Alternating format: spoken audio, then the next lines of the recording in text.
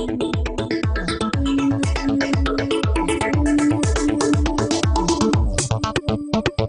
60s generation, rave goers, and college kids alike are going to love this geeky science today. A new report in the Proceedings of the National Academy of Sciences suggests that the key ingredient in magic mushrooms, psilocybin, may be the perfect aid for certain mental disorders. Early research has shown that psilocybin is helpful for terminally ill cancer patients dealing with anxiety and possibly people with severe forms of depression. Essentially, psilocybin targets both the medial prefrontal cortex and the anterior cingulate cortex regions of the brain. The former determines how a person thinks, feels, and behaves. Psilocybin alters this activity in the brain, thereby opening up a person's personality and thoughts. And in the interior, in the anterior cingulate cortex region, psilocybin decreases the amount of activity that's occurring, therefore decreasing activities associated with depression. Not only that, this research shows the positive effects from shrooms last for as long as 25 years. The possibility that magic mushrooms can help with neurological problems is really nothing new, however. Timothy Leary, a famous American psychologist, was a strong advocate for the use of psych- psychedelic drugs for the treatment of mental disorders from the 1960s until his death in 1996. Leary, who first took psilocybin in 1960, argued that substances like LSD and psilocybin, when used in a controlled setting at proper dosages and under the guidance of an experienced therapist, was beneficial in treating mental disorders from depression to addiction in ways that traditional therapy had failed. Despite Leary's research and these new findings showing magic mushrooms are promising in treating depression and anxiety, don't hold your breath waiting for them to become available from your local pharmacy. It's because there's way too much money to be made promoting other drugs that alter our consciousness, like alcohol, caffeine, and tobacco, and they all have lobbyists. Most Americans are familiar with two drugs which change consciousness drugs which put us into a stupor, uh, drugs which wake us up. Almost every American uses one of these two. We use uh, opiates or tranquilizers or alcohol to put us into a nice, cozy stupor, or we use drugs like pep pills or even coffee to wake us up. But there are many other levels of consciousness, many other levels of awareness which can be triggered off by chemicals.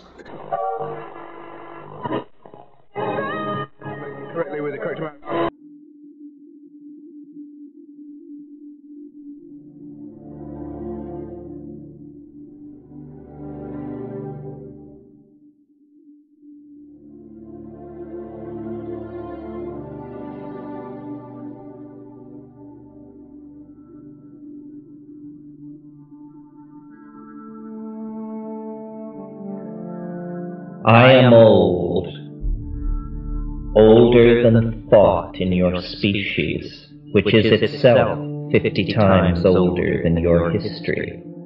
Though I have been on earth for ages, I am from the stars. My home is no one planet, for many worlds scattered through the shining disk of the galaxy have conditions which allow my spores an opportunity for life. The mushroom which you see is the part of my body given to sex thrills and sunbathing. My true body is a fine network of fibers growing through the soil. These networks may cover acres and may have far more connections than the number in a human brain. My mycelial network is nearly immortal. Only the sudden toxification of a plant or the explosion of its parent star can wipe me out.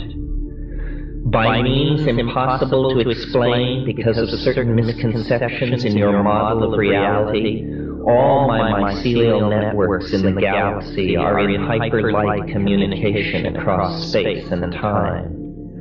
The mycelial body is as fragile as a spider's web, but the collective hypermind and memory is a vast historical archive of the career of evolving intelligence on many worlds in our spiral star swarm.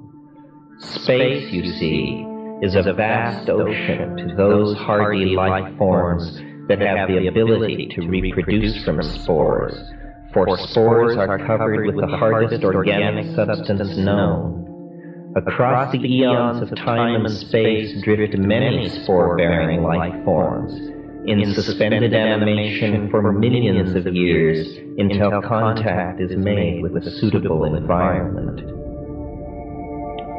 Few such species are minded. Only myself and my recently evolved near relatives have achieved the hypercommunication mode and memory capacity that makes us leading members of the community of galactic intelligence.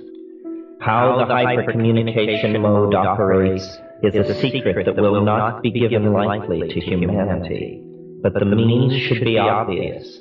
It is the occurrence of psilocybin and psilocin in the biosynthetic pathways of my living body that opens for me and my symbiotes the vision screens to many worlds. You as an individual and mankind as a species are on the brink of the formation of a symbiotic relationship with my genetic material that will eventually carry humanity and Earth into the galactic mainstream of the higher civilizations.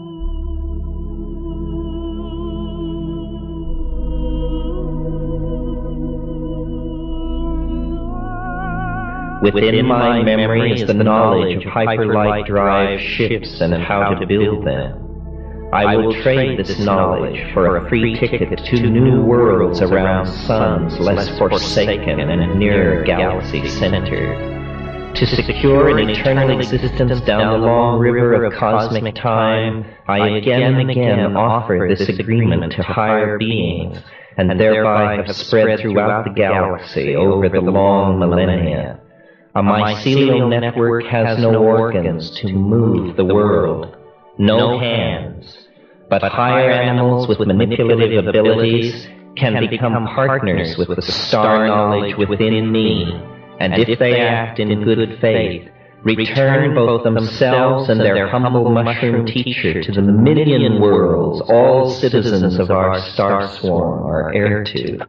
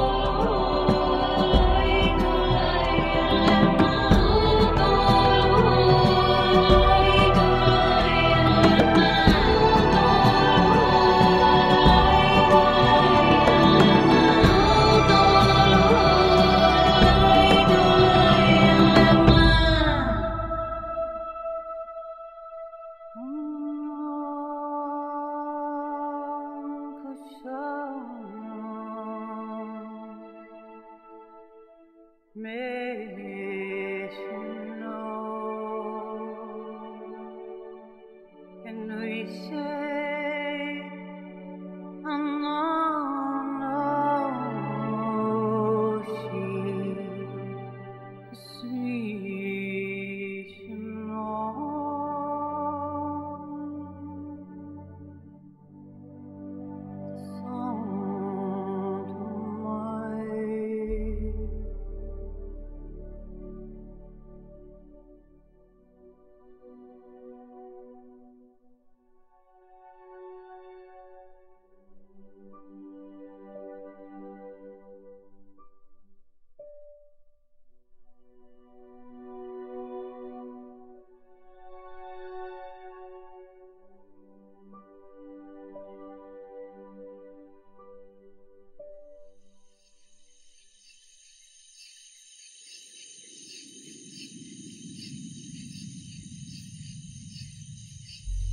Overnight, very whitely, discreetly, very quietly, our toes, our noses take hold on the loam, acquire the air.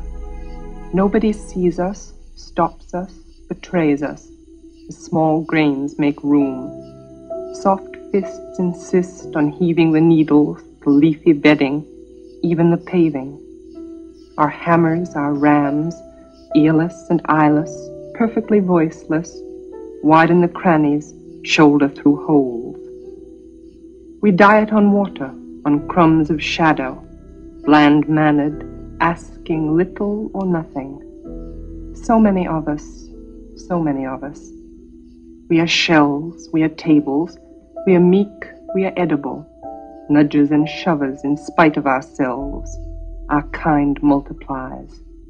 We shall by morning inherit the earth, our foot's in the door.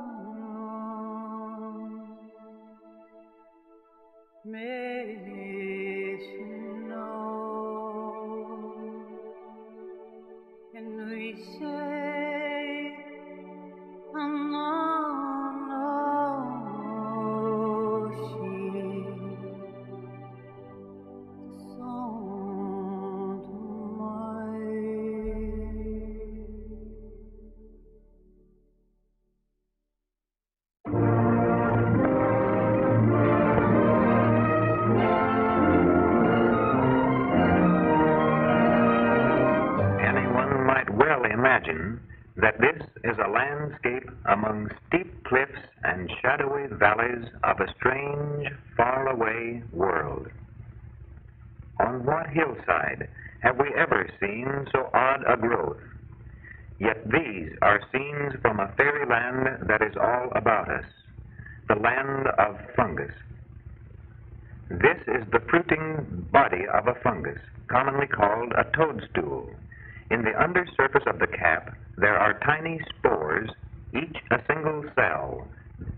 A fungus spore is full of living matter which extends the cell wall and grows into a tube. The original cell develops into a great network of tubes, the plant body of the fungus.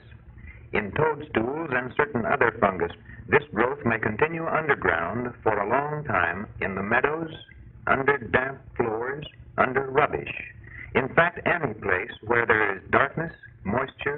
the right kind of food. The spore bearing body or mushroom comes at last into the light. Like dainty dancers in a pageant of fairyland, they sway gracefully before us for a short while and then are gone.